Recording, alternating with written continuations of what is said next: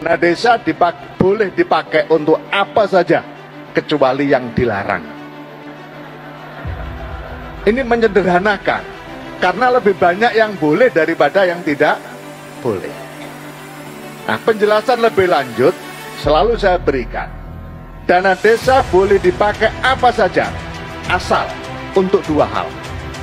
Pertama, dua hal ini bukan pertama yang per, yang paling utama atau kurang utama, tapi dua-duanya sama, yaitu untuk pertumbuhan ekonomi dan peningkatan sumber daya manusia. Dana desa mau dipakai apa saja boleh asal memiliki kontribusi langsung terhadap pertumbuhan ekonomi dan peningkatan sumber daya manusia.